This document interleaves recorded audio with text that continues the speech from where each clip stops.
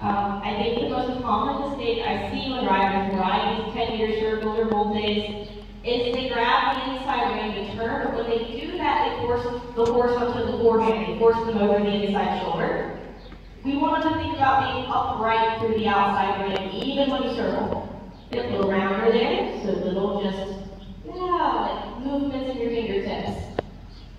Little flex to the left, and then soften, and then gently little flex back right. That's super. Good right there. And then really soften tool patch. That if you can with your inside hand, let them know, yes, that's correct. It's sort of the idea that every time he comes rounder, some of that resistance leaves a little bit.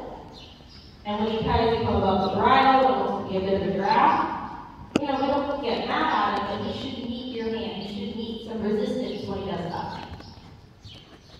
Really this. Good. Very. All right, so when you're ready,